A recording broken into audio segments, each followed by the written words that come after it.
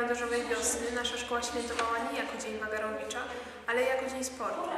Tego dnia na sali gimnastycznej odbywały się mecze w piłkę siatkową i koszykową.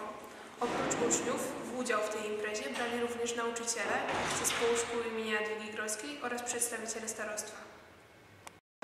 E, Jako nasza klasa wykupiliśmy 5 godzin lekcyjnych.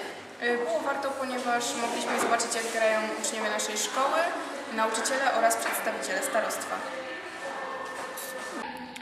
Nasi pedagodzy zajęli pierwsze miejsce w ogólnej klasyfikacji rozgrywek w piłce siatkowej, natomiast mecze koszykówki odgrywały się między klasami. Nagrodami były dyplomy i puchar.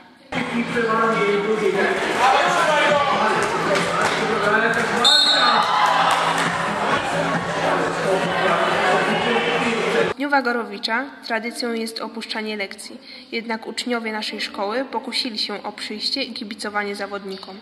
Bardzo podobało nam się to, że zamiast lekcji mogliśmy wykupić godziny poświęcone na oglądanie meczy.